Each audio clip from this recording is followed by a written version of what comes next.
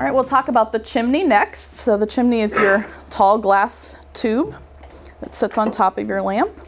So the difference between an Aladdin chimney and a regular lamp chimney, one difference is the height. So they are 12 and a half inches high, uh, which is taller. And the reason it's taller is so that it can create more of a draft, pulling more oxygen into the lamp. Another difference is the type of glass that it's made of. Um, it is a special glass that's made to withstand higher temperatures. So if you were to, say, break your Aladdin chimney and you have another lamp sitting around that has a chimney that looks like it'll fit, probably not a good idea to use it even if it does fit because the glass is not going to be as high a grade as this. You're going to have a chance that it's probably going to crack um, and you don't want that. So definitely only using Aladdin chimneys with your Aladdin lamp. With the newer Max Bright chimneys that we have, um, we redesigned the logo so they look a little bit different. Um, it's got the new Max Bright logo at the top. There's now a caution statement at the bottom and it just talks about how the lamp is really hot, make sure you have good ventilation, all those important steps there.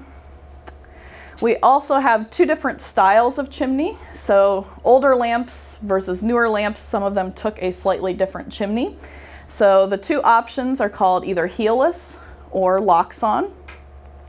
We also redesigned the, the Aladdin logo on those as well. It's just a simple Aladdin. Whereas you can see on this older one here that's kind of got a more ornate um, image on it. So the logos are all fired into the glass um, so that you don't confuse them with a regular chimney that you might have laying around. So determining what type of chimney they need, for, if they need a heelless or a Loxon. The heelless chimney looks like this. It's got a very smooth bottom that looks similar to what standard chimneys will look like. And it's gonna go into um, a gallery that looks like this. It's kind of like a crown on top. And these little tabs are movable so that you can fit it down in and get it so that it's snug. The other option is a Loxon chimney.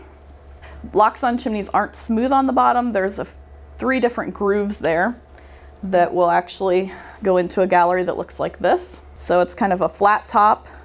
It's got three notches on here. So your chimney goes in, you turn and lock it into place. So hence the name Loxon. All right, and then we also have another option. Um, so anyone who lives above 3,000 feet in elevation, we recommend a high output chimney. The high output chimney, the only difference is it's three inches taller, so it's 15 and a half inches high. And what that does is, again, the taller the chimney, the more draft it pulls in. So if you live in an elevation, there's less oxygen the higher you go. So because the lamps require a lot of oxygen to be flowing, they need that extra draft in order to keep the air flowing into their burner so that their mantle will glow. So they may say, my lamp just really isn't very bright.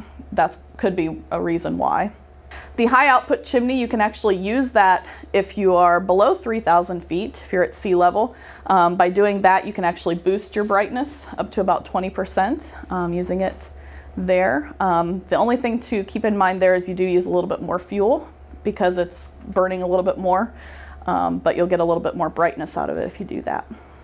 All right, so we'll talk about the burner assembly next. The burner is the heart of the lamp. This is where um, it's the point of combustion where your fuel is being converted into light.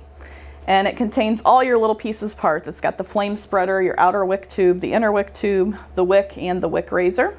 Our burners come in either kerosene or electric. So um, kerosene, obviously you're using oil and burning it that way. Um, but you can also get a burner that has, um, where it's configured where you can use a light bulb. So 60 watt light bulb, you can get the look of your Aladdin lamp but also the convenience of using electricity. And every kerosene burner comes with the wick already installed, which is nice because that's kind of a tricky operation. Um, it comes with a wick cleaner like I showed you before, the wick cleaner. And it also comes with the operating and safety instructions. So these are kind of new. Um, it's basically the same steps and information, safety information that was in the enjoyment manual that used to go out with every lamp. They're not putting those in with, that, with the lamps anymore. This goes right inside the burner box. So when you get a new lamp, obviously you get a burner with that. You get this information. If you buy a new burner, you also get it. all of the burners that we sell right now will fit into all coarse threaded brass and glass fonts, but they will not work on center draft models. Center draft is where there was actually a hole in the bottom of the lamp going all the way up the top. Everything comes heelless now, which means the gallery looks like this with the crown and the tabs on there. Um, the Loxon version that looks like this is no longer being made, so everything is moving to heelless. And that's both the kerosene and the electric. All right, so again, the gallery is that upper part of the burner that's detachable.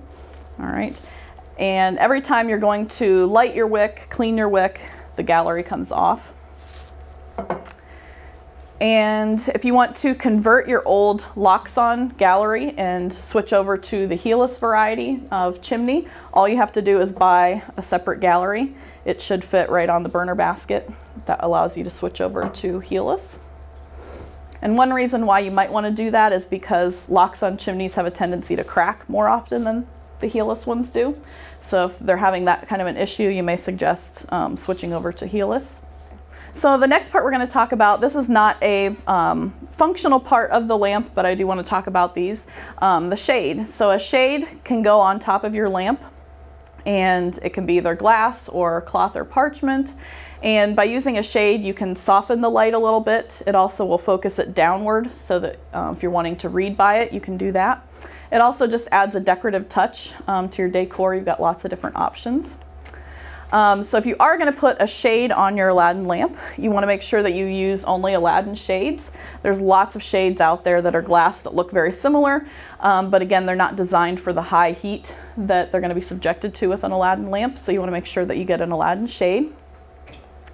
And all of our glass shades are hand painted, so there could be some slight variation uh, with what you get, um, but we do inspect them for quality control. So they get a batch in and they look at them to make sure that they're lining up um, with the specs of what they should look like so that we don't send out anything that's really different than what it should be. For shelf lamps, remember those are the shorter ones. This is a table lamp, so the shelf lamp is the shorter one.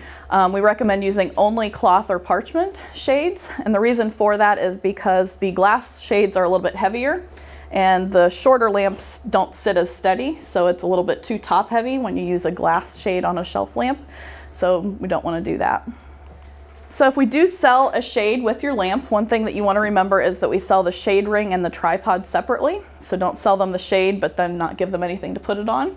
So if they get a glass shade, you're going to use a shade ring that'll look similar to this. Okay, so your glass shade will sit on top of that. If they use a cloth or parchment shade, you're going to use a tripod, which is very similar. It's uh, got the same ring, same um, arms here, but it does not have the ring on the top. That's the only difference. Okay.